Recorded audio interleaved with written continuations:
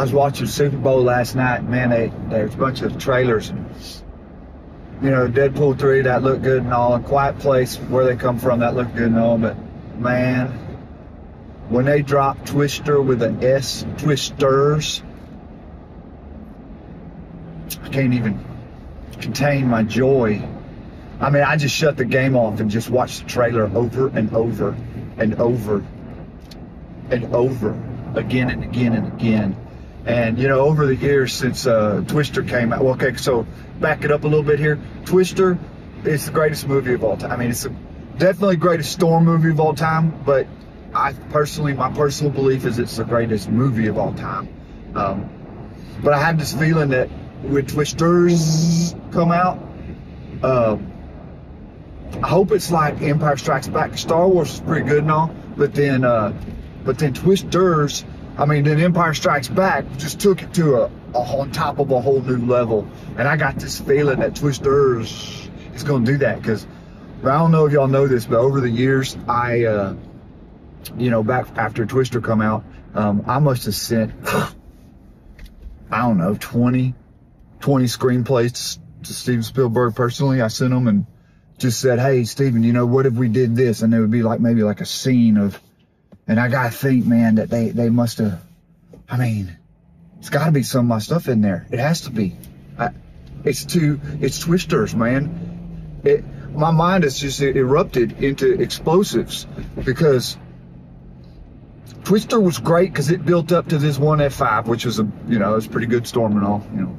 I haven't personally ever been in an F5 personally, but you know, they made it was pretty cool. Flying cows and flying truck and Dorothy's flew and all that. That was all good.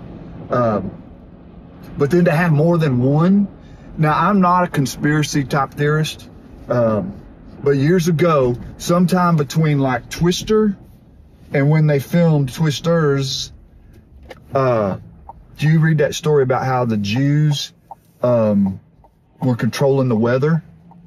And uh, and I love the Jewish people. This is not a you know anti-Semite type thing. Is I love Jewish people, man. I got lots of Jewish friends, like hundreds of them. So I don't necessarily think it's true, but when you think about it, Steven Spielberg is a Jew, right? And and that's good. You know, he little yarmulke and and Dreidel, and I love that. I love Steven Spielberg. Steven Spielberg made greatest movie of all time, Twister. I mean, my obvious.